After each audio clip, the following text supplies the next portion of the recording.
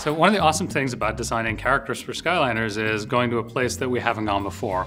And so we look for inspirations for that as a starting point and then turn them into really colorful, fun personalities you can only find in Skylands. When we begin the creation of a character for the first time, we're looking for the little quirky corners of different personalities. We really want to focus on having interesting characters, having fun characters, having a nice variety of things, but each character really wants to signify like a single idea, a single message.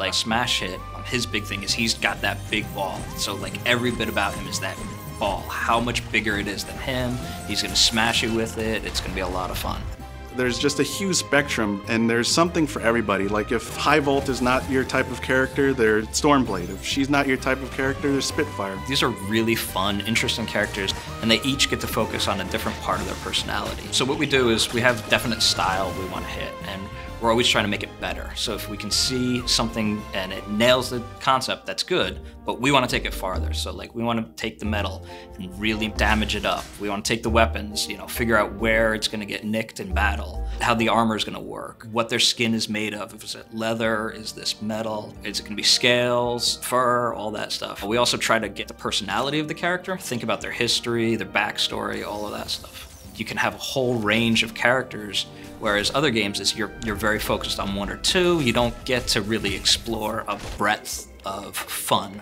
that I think we get to do here.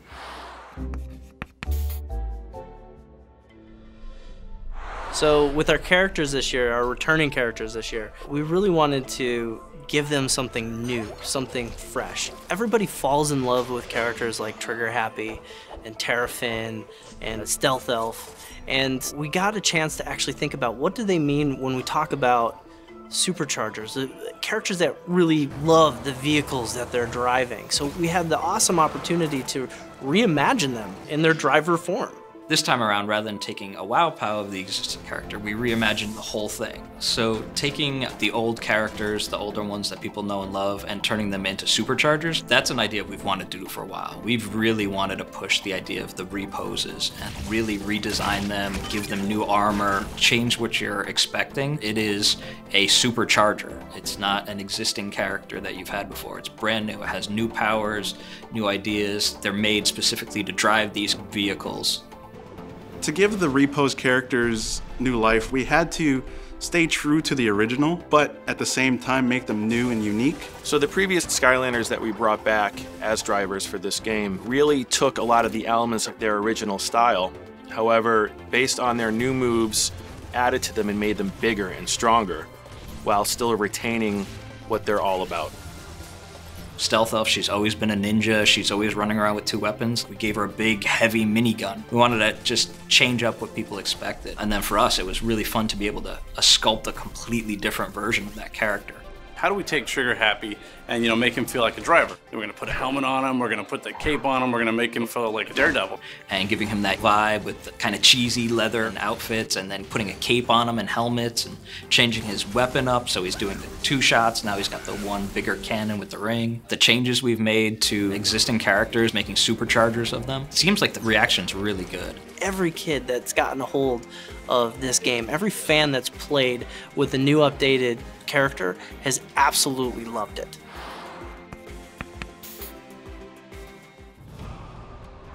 One of the most fun things about designing Skylanders and creating the game is designing the characters.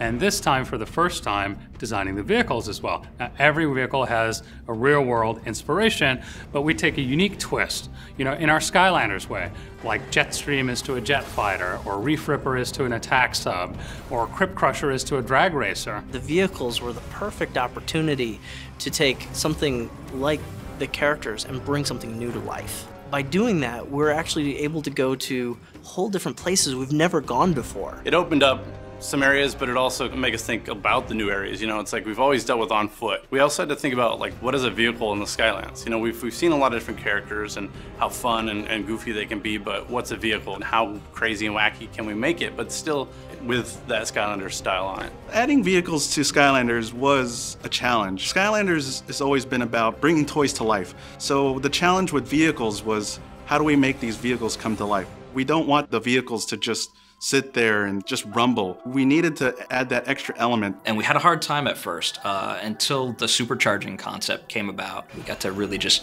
key off of the personality of the vehicle rather than just like its function. To do that with vehicles that are just as over the top and crazy as, as our characters uh, was a lot of fun.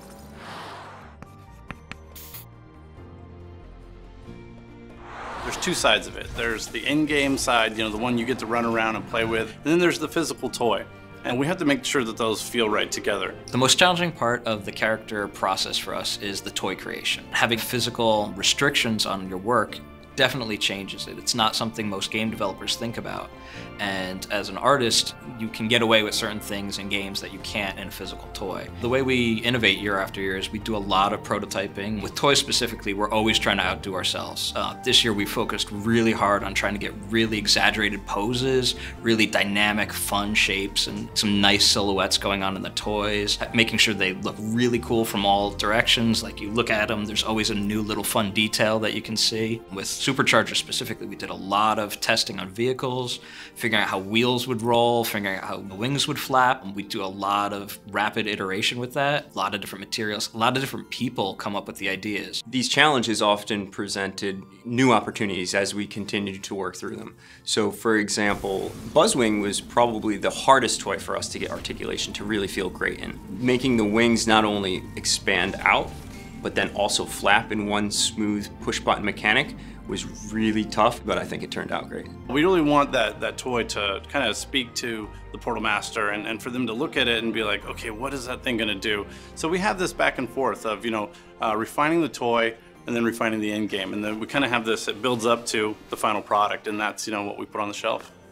So for Skylanders, the character process, it starts off with concepts and pitches and powers. We get the concept, which is 2D, a great drawing that everyone loves, and then we take that and we bring that into 3D, we create it, we put it in the game, everyone's playing around with it, we look at the powers, kid test it, everyone has fun, and then eventually we take that and then we turn it into toys, which is really cool. So we start with taking the 3D model and putting it into the 3D printer.